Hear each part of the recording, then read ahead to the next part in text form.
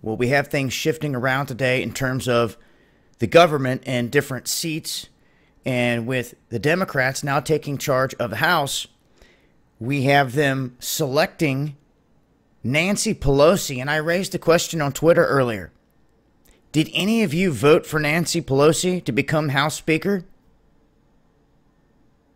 Anyone? No, you didn't. Because they never gave you the opportunity to. They handpicked her. Who handpicked her? The club that none of you are in. Same club that handpicked Joe Biden and Bernie Sanders to win the Iowa caucus. They handpicked these individuals from the club. They chose them.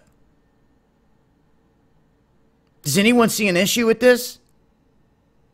Or not? I mean, it just blows me away sometimes. I wonder where people's minds are at out here and if they're even paying attention to what's going on because it seems like they're running us toward a huge divide, which anytime you have an election, obviously they work on doing that big time. But now we have a California Democrat saying that he's going to introduce articles of impeachment.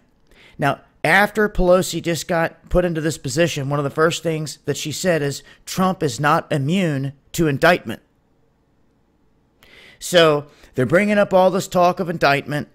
This man saying he's bringing up these articles of, of impeachment alongside Rep. Al Green, which is a Texas Democrat, or was in, in 2017, they have here, saying that he will be introducing the same articles he introduced last year once the House is in session this afternoon. So I guess it's the same stuff that he filed in 2017, but he's going through trying to push it even stronger now. And now that they have control of the House, they're trying to make moves. So things could really start to get messy out here in terms of the battle back and forth and what they're going to try to do. And in terms of trying to take down the Trump administration or Trump himself.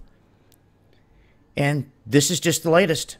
I wanted to make mention and let it be known that this is the talk. This is what he's putting out there. I'll update as things change if this gets shot down, if it advances any. And make sure to join us for Underground World News Live Friday nights, 8 p.m. Eastern, Dahboo77. Hope to see you guys there.